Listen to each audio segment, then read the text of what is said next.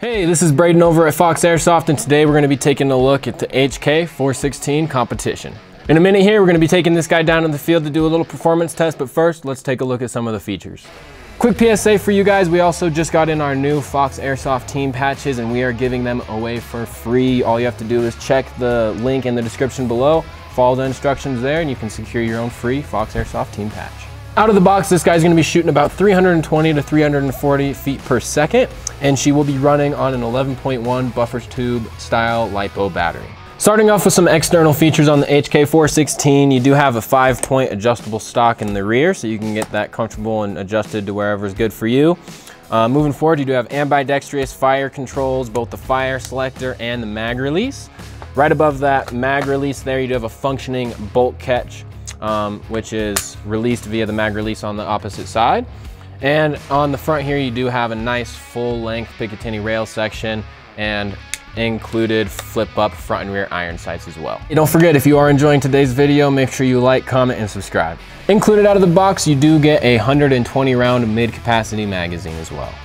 Internally, the HK416 competition does have a full metal gearbox, a nice rotary style hop up unit, as well as an inline MOSFET so that you can use your higher powered LiPo batteries.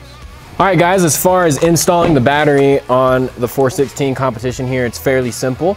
Right at the bottom of your stock, you have a little switch. You pull that down and your butt plate will slide right off, exposing your battery connectors there. Now you don't have as much battery space on this guy being that 416 style stock, so you will have to run either a tri-panel or a buffer tube style LiPo battery. That guy then will slide right down there You'll plug your wires in and then you just slide that cap right back on.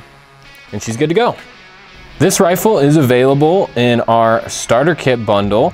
We have our basic, BB's, charger, and battery. If you get the complete version of the starter kit, it will also include a gun bag, mesh mask, and goggles. Now that we've taken a quick look at the HK416, let's take her out to the field and see how she performs.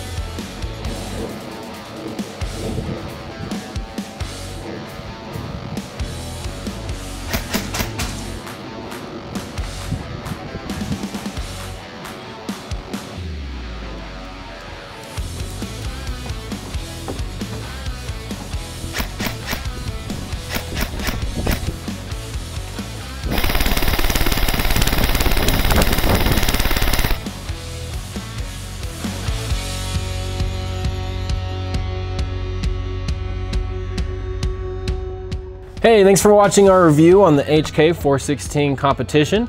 If you did enjoy today's video, make sure to like, comment, subscribe, and don't forget you can find us on Instagram, Facebook, and TikTok as well.